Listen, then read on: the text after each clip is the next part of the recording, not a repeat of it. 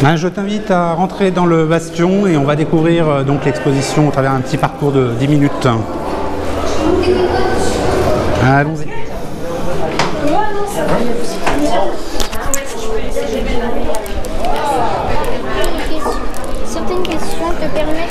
Donc on arrive à la première pièce de l'exposition, qui est une pièce assez représentative en fait euh, du travail. Euh, un Captain America aux couleurs de Bonifacio, avec son, son bouclier euh, et l'écusson de Bonifacio. C'est représentatif en fait de l'ensemble de l'exposition. Pourquoi? Parce que l'exposition The Secret Life of Bonifacio, c'est un rebond sur l'ensemble de ma série qui était The Secret Life of Heroes. Et euh, l'exposition, au travers de cette exposition qu'on va aller euh, découvrir, je reprends en fait toute l'histoire de Bonifacio sous le regard de personnages de, comics, de personnages euh, de bande dessinée d'une manière générale, de dessins animés. Donc en fait, c'est toute l'histoire de Bonifacio traduite au travers du monde de l'entertainment. Là, tu peux voir l'affiche. Donc l'affiche avec un détournement d'un astérix avec euh, moustache, euh, moustache noire et cheveux noirs. Donc un astérix corse avec les couleurs en fait de Gênes. L'idée c'est que Bonifacio ça a été pendant très très longtemps en fait un peu le village gaulois de la Corse.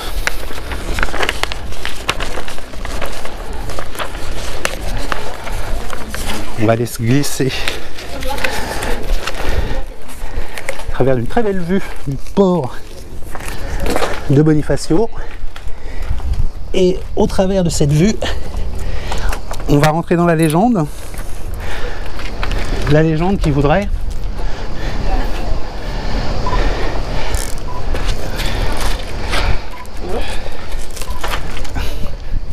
Donc on découvre euh, ici un Ulysse. Donc la légende voudrait qu'au travers de l'œuvre d'Homère, en fait, Ulysse aurait mis les pieds à Bonifacio pour aller combattre des géants euh, cannibales et euh, mangeurs de bateaux. Donc euh, on retrouve Ulysse réinterprété dans le monde des dessins animés par Ulysse 31 avec Nono le robot. On va continuer donc. L'idée en plus dans l'exposition, c'est essayer de surprendre à chaque fois le public, essayer de cacher les pièces de manière à ce que on ne les voit pas de premier abord, mais euh, en arrivant euh, dans euh, certains endroits, en fait, on les découvre et elles nous, sautent aux yeux. Là, on va découvrir une nouvelle pièce.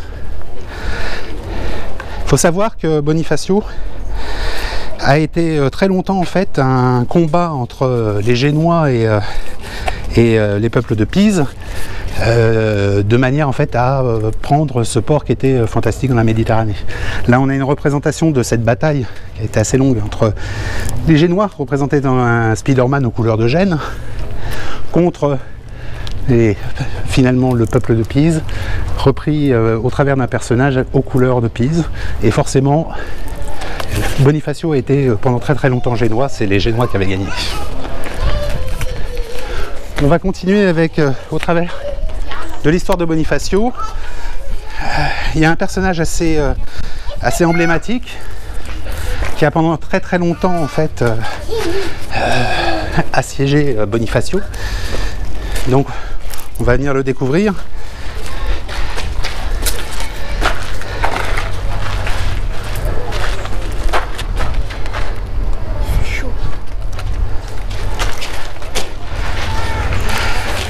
Personnage qui était un, pirate emblématique euh, de la Méditerranée. On, disait que c'était le pirate qui connaissait vraiment toute la Méditerranée.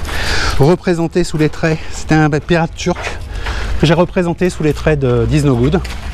Donc Isnogoud habillé euh, à la façon de Dragout, ce fameux euh, pirate. On va aller continuer. Alors une autre, un autre fait d'histoire pour Bonifacio, c'est que les Aragonais voulaient absolument récupérer ce, ce joyau. Or, euh, il y a eu un siège qui a duré assez longtemps euh, avec euh, les Aragonais, un siège mené par Alphonse V. Et là, on retrouve, au travers de niches, un, un des faits d'armes en fait de, ce siège. Il se trouve que pendant le siège, en fait, les, le peuple de Bonifacio a été aidé par la flotte de Gênes, qu'on retrouve là. Et finalement, à- les Aragonais avaient monté une chaîne tout, euh, tout le long en fait, de, de Bonifacio, de manière à empêcher la flotte de rentrer, donc euh, les renforts pour les Bonifaciens. Et il se trouve que la flotte génoise est arrivée et la flotte génoise a réussi à casser la chaîne qu'on retrouve représentée au travers de ce- cette pièce. Alors la composition, on peut le voir, est euh, une continuité entre les deux fenêtres. Donc une fenêtre sur euh, Bonifacio, sur la mer de Bonifacio, et on voit donc la forte génoise arriver sur la chaîne et ensuite briser la chaîne. Pendant ce... Alors on va refaire un petit retour euh, en arrière. Donc excusez-moi au niveau du, du- du déroulé, je passe d'un temps à un autre. Et on va aller en fait au sein du bastion, à l'intérieur, pour aller découvrir quelque chose qui date un peu, un peu plus. Donc là, on risque de pas voir grand chose à cause de la lumière, c'est assez sombre.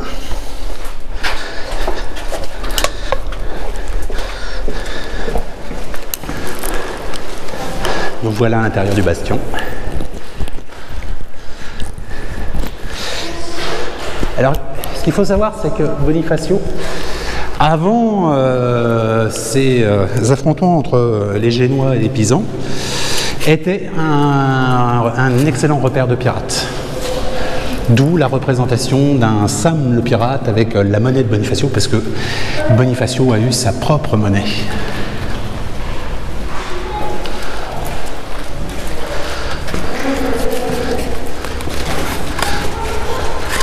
On va aller encore un peu plus profond, avec encore moins de lumière. Je vais essayer d'éclairer quand même la pièce, parce que dans les faits importants de Bonifacio, il y en a un qui est qui a été euh, assez sombre, une, époque de Bonifacio assez sombre.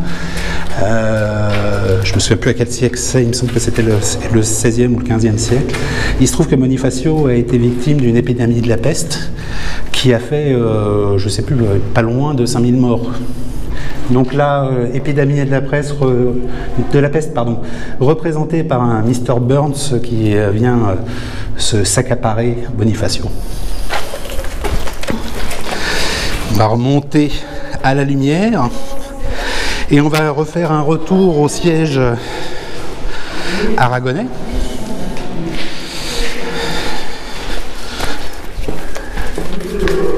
Parce que Bonifacio a été très très convoité en fait, euh, non seulement par les Aragonais, par les Français.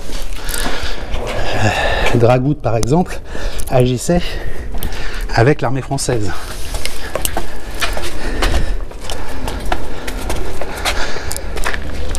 Donc on se remet à la lumière et on va découvrir une autre pièce. Alors dans l'idée, l'ensemble en fait de, l'exposition est euh, indiqué en fait sur un parcours et sur ce parcours on met les anecdotes auxquelles sont liées les pièces et en fait le public doit essayer de retrouver à quelle anecdote représente la pièce. Alors je suis un peu essoufflé, c'est un peu fort boyard là. Je suis un très grand sportif, c'est pour ça.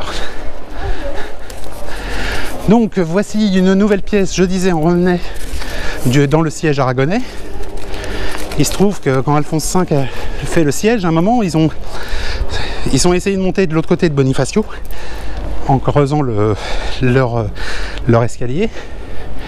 Et il se trouve qu'ils ont été repoussés notamment par une femme dont je ne me souviens plus le nom, mais qu'on dit que c'était la Jeanne la Hachette de Bonifacio, représentée ici par un personnage forcément gaulois du fameux village d'Astérix.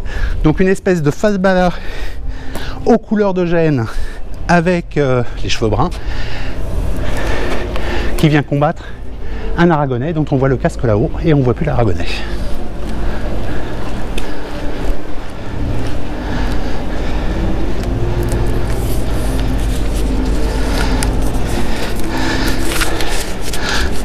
Bonifacio n'est pas que euh, qu'une histoire de guerre ou euh, d'épidémie, c'est également c'est également un lieu qui a été très réputé pour être la plus grosse production d'huile d'olive de la Corse. Étonnant pour un si petit lieu. Et là donc, pour représenter ça, on a effectivement un très bel olivier. Et en face, qui que mieux déjà qu'un marin pour représenter Bonifacio, au travers finalement d'un marin qui est Popeye, dont le tatouage n'est plus une encre mais l'écusson de Bonifacio, qui tient son olive, qui essaye d'attraper les olives.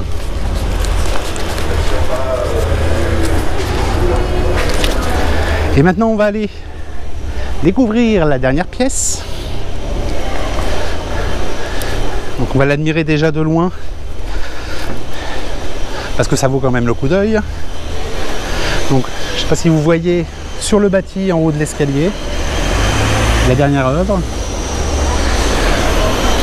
Alors pour euh, pourquoi cette, pièce et qu'est-ce qu'elle représente? Alors ce qu'il faut savoir c'est que quand on se promène euh, dans Bonifacio et autour de Bonifacio, on voit euh, toute une série de petits murets ou de constructions faites de, pierres et de pierres non scellées, de pierres juste posées les unes sur, les, autres. Bah, ces pierres en fait c'est quoi? C'est que les paysans en fait de Bonifacio, pour pouvoir cultiver les terres qui étaient très pierreuses, il fallait qu'ils se débarrassent des pierres qu'il y avait dans la, dans la terre. Et en fait, ils prenaient ces pierres et ils construisaient des murets plutôt que d'en faire des tas. Et le petit clin d'œil donc, au travers de ces pierres, on découvre une pierre qui n'est pas comme les autres, qui n'est autre que la chose, un des quatre fantastiques, emmuré dans les pierres de Bonifacio. Et donc c'est ici que se finit l'exposition. The Secret Life of Bonifacio.